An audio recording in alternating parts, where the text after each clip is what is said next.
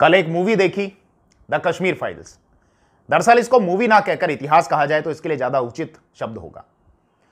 जब मूवी देखकर मैं थिएटर से बाहर आया तो प्रत्येक दर्शक की इस प्रकार की गंभीर मुद्रा थी जिस प्रकार से जब हम किसी व्यक्ति का अंतिम संस्कार करके आते हैं और शमशान घाट से बाहर निकलते हैं तो जैसी मुद्रा और जैसे भाव उनके चेहरों पर होते हैं, इसी प्रकार के भाव उन सभी दर्शकों के चेहरों पर थे। कोई किसी से बात नहीं कर रहा था, चुपचाप केवल नीचे की तरफ़ जा रहे थे थिएटर से बाहर।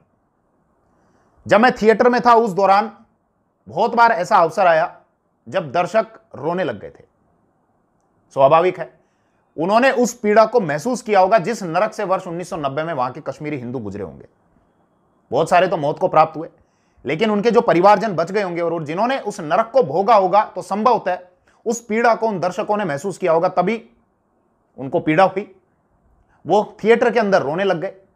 और जब थिएटर से बाहर निकल रहे थे तो उस गंभीर मुद्रा में निकल रहे थे। बिल्कुल शांत बिल्कुल चुपचाप। आप ये सोच रहे होंगे सर पढ़ाते पढ़ाते आप किसी मूवी का प्रमोशन कैसे करने लग गए?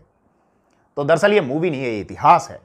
और मेरा तो काम है आपको इतिहास से अवगत कराना। इसीलिए मुझे लगा कि मेरा कर्तव्य है मेरा दायित्व है कि मैं आपको प्रेरित करूँ तो, कि आप जाइए स्वयं इस इतिहास को अपनी आँखों से देख कर आइए। और न केवल हिंदू पक्ष से मैं अपने मुस्लिम दर्शकों से भी कहूँगा भले ही मेरे विद्यार्थी हों, मेरे दर्शक या मेरे मित्र उनसे मैं कहूँगा कि आप स्वयं जाइए और सत्य या गलत को आप स्वयं तय करिए, क्योंकि सही और गलत की निजी स्वार्थ के आधार पर अलग अलग परिभाषाएँ नहीं हो सकती।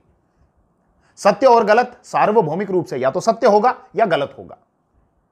आप स्वयं जाएँगे, उनकी पीड़ा को महसूस करेंगे तो आप स्वयं यह तय कर सकते हैं कि आज भी बहुत सारे कश्मीरी हिंदू, इसको कश्मीरी हिंदू कहेंगे तो ज़्यादा उचित है, कश्मीरी पंडित की बजाय, क्योंकि वहाँ पर केवल मारे गए थे, जो पीड़ित हुए थे, वो पंडित नहीं थे, वो हिंदू थे।